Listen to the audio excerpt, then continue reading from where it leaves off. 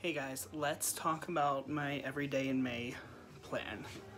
Um, this isn't working out for me because I didn't have a bunch of videos pre-recorded. I actually decided to do it on a whim. So I'm gonna have to stop every day in May because I'd rather give you good quality content and not something that I throw together. So, with that being said, I'm sorry every day in May is off, but you will be getting way better quality content from me.